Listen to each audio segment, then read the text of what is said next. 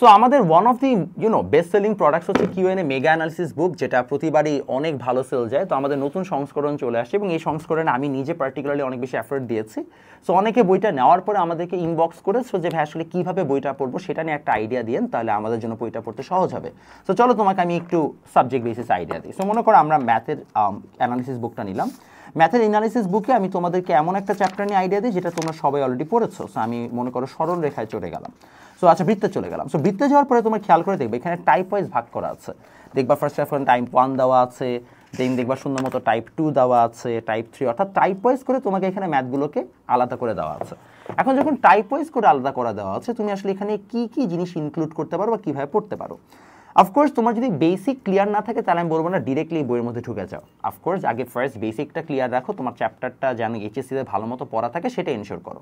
করার পরে এখন তুমি যেটা করবা তুমি সুন্দর মতো, একটা বইটা ধরে, বই একদম টাইপের মধ্যে তুমি দেখবা যে আগে টাইপ ওয়ান মনে করে এখানে দেওয়া আছে এক্স অক্ষকে স্পর্শকারী একটি বিন্দুকামী ও কেন্দ্র একটি রেখার উপর অবস্থিত। এই টাইপের সমীকরণ নির্ণয় রিলেটেড ম্যাথ সো এখানে আমরা অলরেডি থিওরি দিয়ে দিয়েছি।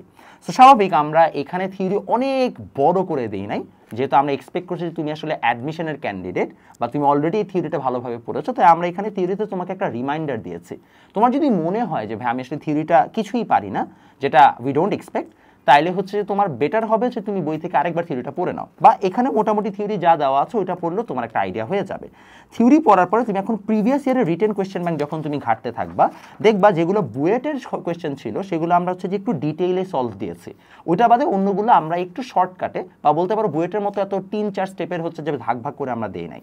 সো বুয়েটের সলিউশনগুলোর ক্ষেত্রে তোমরা অবশ্যই ওই সলিউশনটা ফুললি হচ্ছে যে প্রপারলি একদম বুঝে বুঝে পড়ার চেষ্টা করবা। তারপরের গুলোতে তুমি দেখবা কোনো টাইপ রিপিট হয়েছে। মানে ম্যাথটাকে তুমি আদৌ অলরেডি পারো কিনা? যদি তুমি ম্যাথটা পারো, তাহলে ফুললি আর হাতে করার দরকার নাই। দেখছ, বুঝছ ডান তাহলে তোমার ডান হয়ে যাবে। এইভাবে ম্যাথগুলোকে করবা। করার পরে এখানে আমরা একটা অ্যাডভান্স ইঞ্জিনিয়ারিং হচ্ছে যে সেকশন দিয়ে রেখেছি। অ্যাডভান্স ইঞ্জিনিয়ারিং সেকশনটা প্রথমে করার দরকার নাই। তুমি আগে টাইপ ওয়াইজের পরে প্রিভিয়াস রিটেন কোয়েশ্চেন ব্যাংকে পুরোটা শেষ করবা। করার পরে যদি তুমি এখন সময় থাকে, তখন অ্যাডভান্স ইঞ্জিনিয়ারিং প্রবলেমগুলোতে যাবা। আরেকটা জিনিস, যারা ইন্টারমিডিয়েট ফার্স্ট ইয়ারে আছো, তারা চাইলে প্রথমেই করতে পারো, যেহেতু তারা আসলে চ্যাপ্টার ওয়াইজ যাবে এবং তাদের সময় আছে হাতে। বাট এমন যদি কেউ হও যারা অ্যাডমিশন ক্যান্ডিডেট বইটা নিয়েছো, তারা কিন্তু আবার ওইটা মাতবুদি করে করতে যাও না, ওটা পরবর্তী স্টেপ ওটা তাদের জন্যই দেওয়া, যাদের অলরেডি ফুল বইটা করা হয়ে গেছে। এটা গেলো ম্যাথের রিভিউ ফিজিক্সের ক্ষেত্রেও অলমোস্ট সেম প্রসেস তো এখানে আমি আলাদা করে বোঝানোর কিছু নেই। কেমিস্ট্রিতে আমি যথেষ্ট থিওরি অ্যাড করেছি। সো কেমিস্ট্রির ক্ষেত্রে আমার কাছে মনে হয় তোমরা যদি এই বইটা একদম এ টু জেড পড়ো, তাহলে মোটামুটি তোমার ডান হয়ে যাবে বিকজ আমি থিওরিটার মধ্যে যা যা দরকার এবং থিওরি পড়ানোর সময় আমি ইভেন হচ্ছে যে কোন টাইপের কোয়েশ্চেন এখানে আসে আমি সেটাও দিয়ে দিয়ে রেখেছি। সো কেমিস্ট্রি বইটা ধরে পড়লেই মোটামুটি হয়ে যাবে। কেমিস্ট্রির ক্ষেত্রে তোমাকে খুব একটা স্ট্রাগল করতে হবে না। কেমিস্ট্রি তুমি ফর এক্সাম্পল তুমি যদি খেয়াল করে দেখো, আমি এখানে থিওরি দেওয়ার সময় তারপরে হচ্ছে দেখবা সাথে সাথে প্রিভিয়াস ইয়ারের রিটেন কোয়েশ্চেন দিয়ে দিয়েছি, যেটা মোটামুটি করলে আর কি অটোমেটিক ওই চ্যাপ্টার রিলেটেড যা যা আছে সবই কমপ্লিট হয়ে যাবে।